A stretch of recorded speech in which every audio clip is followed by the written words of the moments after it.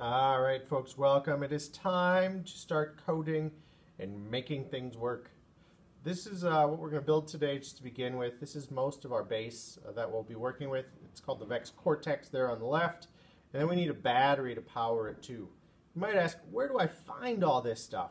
Those base pieces you've been working with for the last week or so, you know those are in the back of the room. The cortexes and batteries you're going to find over here. Okay, there's a big bin of cortexes. Please be very careful with these. They do cost 250 bucks each. If I need to replace them, that's what my cost is. And then you're going to notice if you need a new battery, it says charged batteries right here. Okay, so you are going to pick up a Cortex and a battery. You'll bring it over to your table where you've been working, and we have to build this. Okay, Notice that you don't even have to put screws in all the openings on the Cortex, just kind of on a couple corners to hold it still. Um, the battery plugs in the front here. You're going to find the cord however it fits together.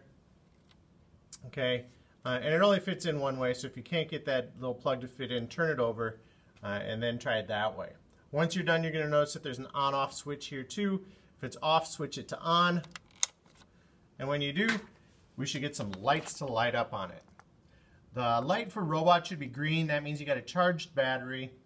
If the robot light is either yellow or red, means your battery is getting close to dead or it's, it's low on power, so you should turn the Cortex off, unplug the battery, and get a fresh one. All right? Please build this, and then the first thing we're going to do, your next lesson is how to turn on that light for three seconds. All right? So build it. Good luck.